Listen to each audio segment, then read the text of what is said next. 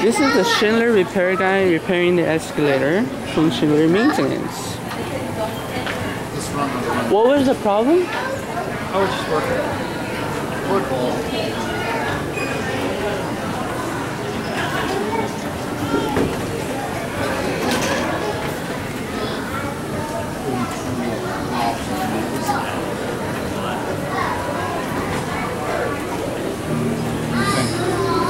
I'm, Want me to do.